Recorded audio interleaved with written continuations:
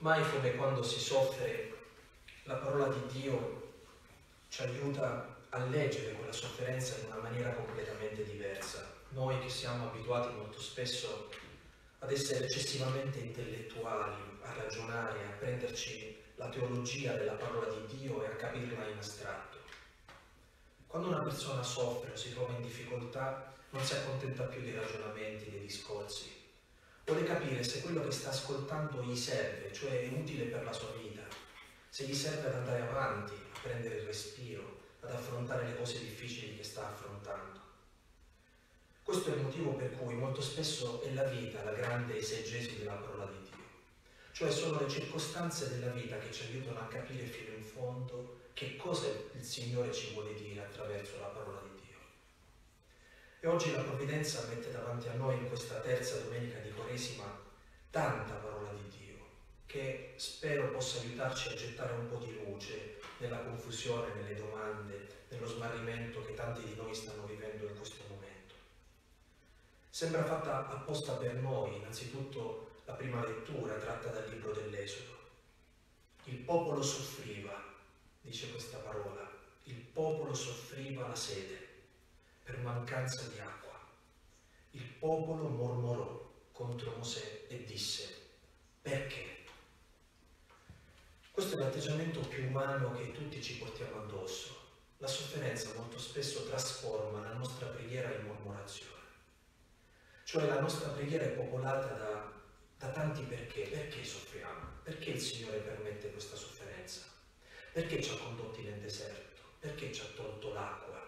Perché ci ha fatto vivere una liberazione e poi ci ha fatto sperimentare invece questa prova? Non dobbiamo vergognarci se in questo momento le nostre preghiere assomigliano di più a mormorazioni che ad atti di fede. Anzi, forse la più grande umiltà è accettare che la prima maniera che noi abbiamo di pregare è avere la sincerità di rivolgerci a Dio con, stessa, con, stessa, con lo stesso atteggiamento, con lo stesso cuore di Israele, che non riesce ad aver fede, che è arrabbiato, che è confuso, che è impaurito. E tutti noi sappiamo che quando una persona è impaurita, è arrabbiata e soffre, molto spesso dice cose che non pensa, perché è preso dal panico, perché quella paura suggerisce lui cose che non vorrebbe mai dire quando è in pace, quando riflette, quando ha fede, quando ha fiducia. Eppure tutti noi dobbiamo accettare che innanzitutto perché? Perché perdiamo i nostri familiari?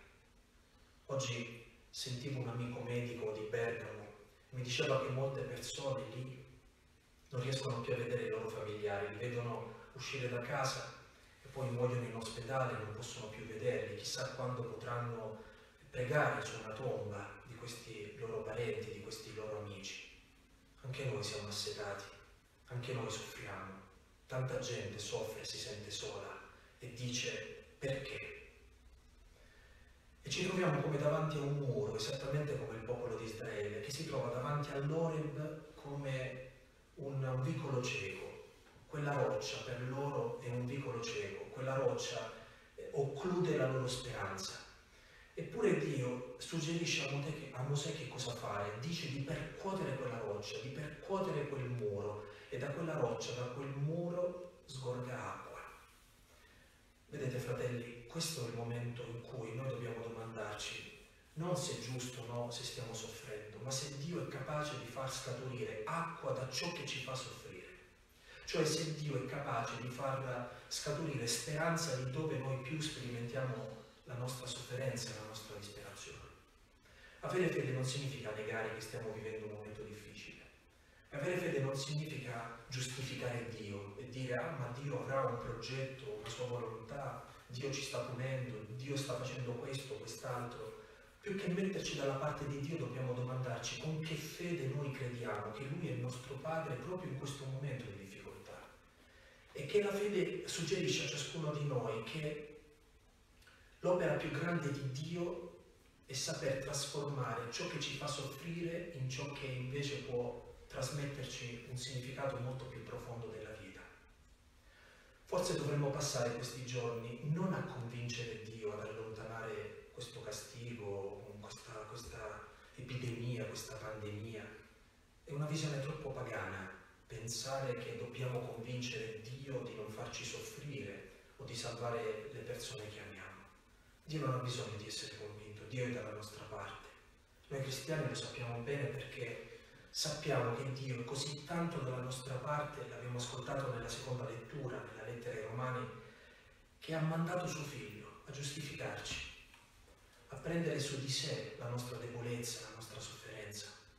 Non dobbiamo usare la nostra preghiera per convincere Dio, ma per convertire noi stessi, cioè per cambiare forse noi la prospettiva, per comprendere la vita in una maniera meno superficiale di come noi la stiamo forse comprendendo fino adesso, perché quando le cose vanno bene, quando tu hai la salute, l'intelligenza, quando il mondo gira dal verso giusto, la tentazione è quella di pensare di non aver bisogno di nessuno, di non aver bisogno degli altri, che bastiamo a noi stessi, di non aver bisogno nemmeno di Dio. E quando una persona fa meno di Dio è come se stesse dicendo a se stesso che non ha bisogno di nessun senso, l'importante è che lui funziona, l'importante è che lui cade in piedi.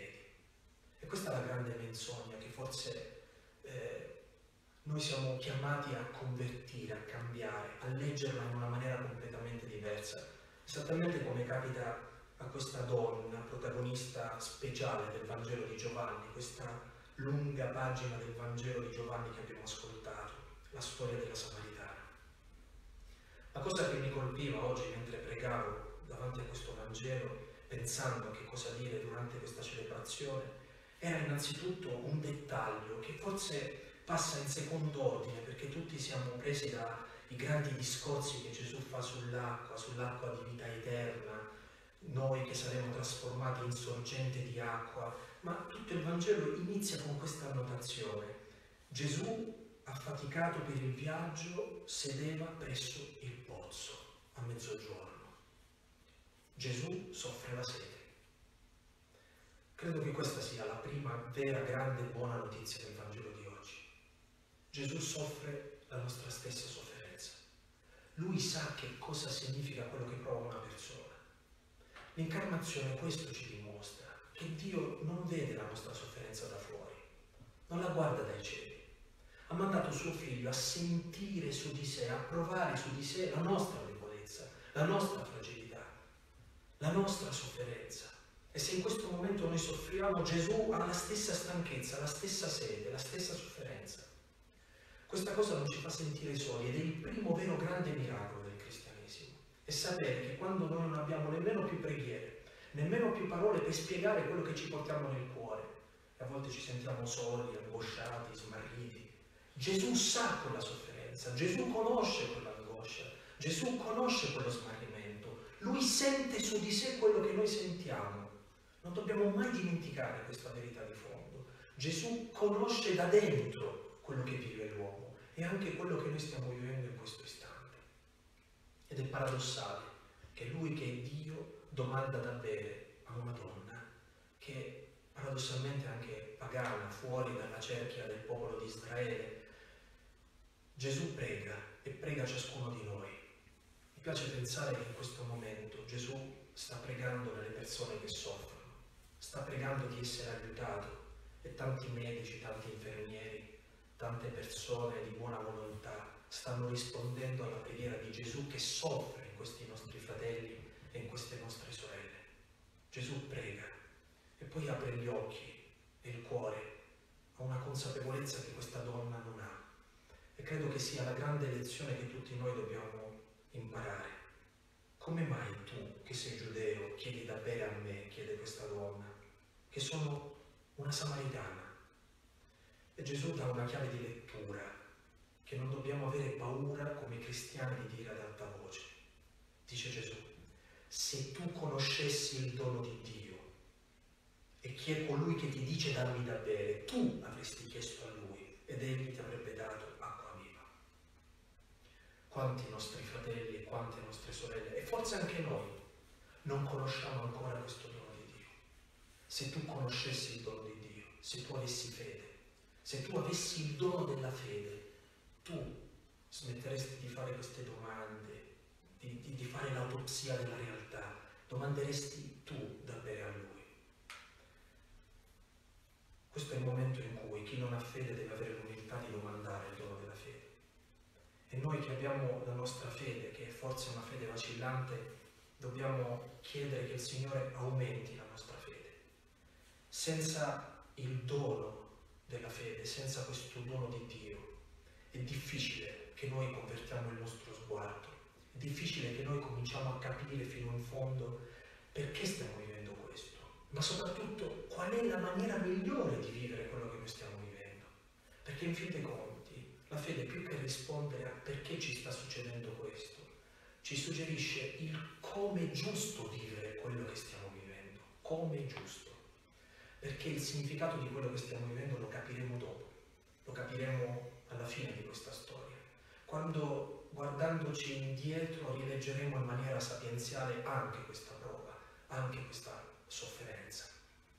E poi un'ultima suggestione, ce ne sarebbero tantissime nel Vangelo di oggi, ma pensando a tanti messaggi che ho ricevuto oggi di sofferenza, perché non possiamo pregare nelle nostre chiese? Perché non possiamo eh, celebrare l'Eucaristia? Perché non possiamo accostarci al sacramento della comunione? Innanzitutto mi venivano in mente tanti nostri fratelli e tante nostre sorelle perseguitati in tante parti del mondo, che molto spesso a causa dell'odio, della guerra, delle sofferenze, delle persecuzioni, non riescono a, celebrare l'Eucaristia. E anche loro vivono questa sofferenza e noi in un certo senso in questo periodo li stiamo capendo di più perché stiamo sperimentando anche noi questo digiuno sacramentale, questo digiuno eucaristico. Ma non dobbiamo lasciarci prendere dall'idea di fondo che c'è un luogo dove le preghiere valgono di più e un luogo dove le preghiere valgono di meno.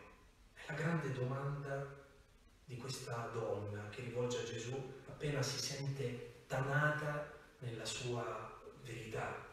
Non hai, non hai tuo marito perché l'uomo che hai accanto non è tuo marito, tu hai avuto cinque mariti e quello che hai ora non è tuo marito. In questo hai detto il vero, dice Gesù. Questa donna quando si sente letta con verità da Gesù dice questo. Signore, visto che tu sei un profeta, spiegaci i nostri padri hanno adorato su questo monte, hanno pregato su questo monte. Voi invece dite che è a Gerusalemme che bisogna pregare. Qual è il luogo dove si prega? A casa nostra? In chiesa? Allora, che senso andare in chiesa se possiamo pregare sempre a casa nostra? O che senso ha pregare a casa nostra quando invece possiamo pregare in chiesa? Qual è il luogo giusto? Qual è la geografia giusta di dove pregare? Gesù spiega in maniera profonda attraverso questo Vangelo qual è la geografia vera della preghiera e dice, credimi donna, viene l'ora in cui né su questo monte né a Gerusalemme adorerete il Padre, perché voi adorate ciò che non conoscete, noi adoriamo ciò che conosciamo, ma viene l'ora, ed è questa, dice Gesù, in cui i veri adoratori adoreranno il Padre in spirito e verità. In un articolo del Catechismo lo si diceva in maniera così semplice e diretta nel Catechismo di San Pio X, dove è Dio? Si rispondeva in questo modo, Dio è in cielo, in terra e in ogni luogo. Allora voglio dire a ciascuno di voi, cari fratelli e care sorelle, non importa dove vi trovate, non siete lontani dal Signore. Non importa se siete a casa, se siete in un ospedale, non importa se non potete uscire, non importa se vi sentite prigionieri, Dio è con voi, Dio è lì e nessuno potrà mai separarci da Cristo, nessuno potrà mai far venire meno questa comunione profonda. Non c'è più un monte o Gerusalemme. Cristo ha creato un profondissimo wifi tra di noi, una profondissima comunione che non può essere rotta da nessuna circostanza questo è il tempo in cui dobbiamo crescere in questa consapevolezza e ovunque ci troviamo dobbiamo ricordarci che i veri adoratori sanno adorare in spirito e verità e Gesù ci ha dato questo spirito e questa verità. E vi sia di consolazione, ma una consolazione vera e profonda, quello che sto per dirvi. Ogni giorno noi sacerdoti celebriamo l'Eucaristia e la celebriamo non per noi stessi, ma per il popolo santo di Dio. E anche se voi non potete essere nei banchi, non potete rispondere anche se fisicamente non siete presenti, ogni volta che noi celebriamo l'Eucaristia la offriamo per voi, con voi, in voi. Anche noi prendiamo la vostra sofferenza, il vostro quotidiano, le vostre domande e le portiamo sull'altare perché diventino il corpo e il sangue di Cristo, diventino redenzione. Non siamo soli. Da quando Cristo è venuto al mondo nessuno è più solo. Possiamo essere tribolati, possiamo essere nella sofferenza, ma non siamo fondamentalmente né schiacciati, né siamo alla fine. Siamo semplicemente in un momento decisivo della nostra vita in cui dobbiamo domandarci che cos'è l'essenziale. Dobbiamo tornare ad aggrapparci con tutto noi stessi a questo essenziale. Amen.